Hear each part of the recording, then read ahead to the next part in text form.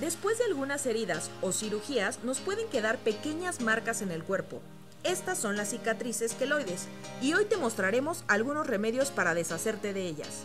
Normalmente durante el proceso de cicatrización el cuerpo produce colágeno que ayuda a evitar las marcas visibles, pero en ocasiones este proceso no se cumple de forma adecuada y nos quedan marcas abultadas que requieren de cuidados especiales para desaparecer.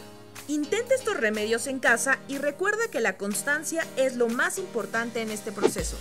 El remedio de las abuelas es curiosamente uno de los más efectivos. La concha nácar actúa como regenerador de piel y ayuda a atenuar las cicatrices. Para que funcione, debes aplicarla diariamente al salir de la ducha. En ese momento, los poros de la piel están abiertos, por lo que lograrás una mejor penetración. Otro efectivo remedio es el bicarbonato de sodio. Mezcla dos cucharadas de este polvo blanco con una cucharada de miel de abeja y usa las yemas de tus dedos para masajear gentilmente la cicatriz. El bicarbonato ayudará a retirar las células muertas y mejorará el aspecto de tu piel desde los primeros usos. Aplica la mezcla dos veces por semana. Y si lo que necesitas es disminuir la pigmentación de la cicatriz, te recomendamos el vinagre de manzana.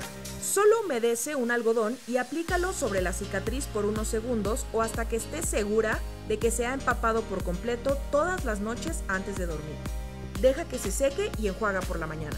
Si tienes una cortada que no ha cicatrizado, también hay pasos que puedes seguir para evitar que te quede una marca. Mantén la herida humectada, puedes usar vaselina, evita los rayos del sol y no te quites las costras. ¿Qué remedios te gustaría encontrar en este canal? Escríbenos en los comentarios y si es tu primera visita, suscríbete y recibe más remedios efectivos Salud 180.